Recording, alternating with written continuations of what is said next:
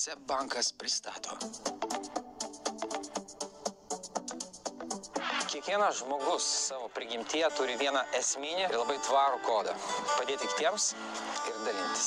Kurt labdaros fondą buvo geriausias dalykas, kas galbūt įvyko mano gyvenime. Mes tikrai galim rimtai kažką padaryti, jeigu kažkiek laiko įdėsim kasdien. Nepaisant to, kad daugiau piktų komentarų, bet žmonės yra tikrai geri. Tylus geradariai - tvarumo istorijos. Šeštadienį 11.30